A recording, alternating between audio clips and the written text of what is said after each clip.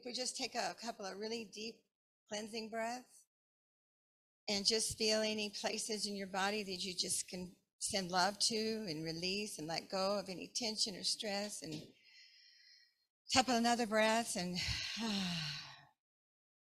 and if you feel comfortable closing your eyes. Dear god here we are in the seasons of march winds april showers and may flowers while considering the four elements especially at this time of year wind air showers water flowers earth and soil and color scattered throughout the sunshine, the fire, and the heat, interspersed intermittently throughout our Mother Earth. What more do we need? Food. I'm just saying that because I can't. Okay, what more do we need?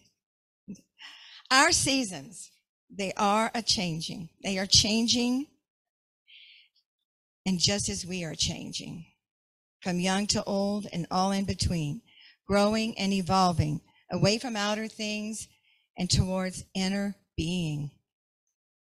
Some things do not change. Truths of who we truly are in spirit, the I am. God, we are the individual facets of you, always present within and expressing through us as us.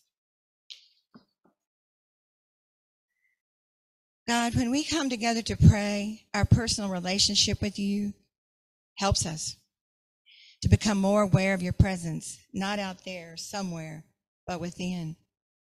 You are our refuge, sustaining us and nurturing us in our need for help, giving us the wisdom and peace that we receive when we let go and allow your guidance to come through us and our joy.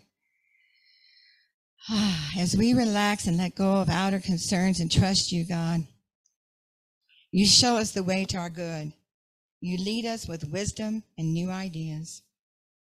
When we let go of the reign of control and feel your presence calming us, nurturing and revitalizing us, restoring us to health and wholeness, we reach our goals and expectations. Thank you, God, for your guiding, constant presence in our lives. We are so grateful. Amen. And so it is.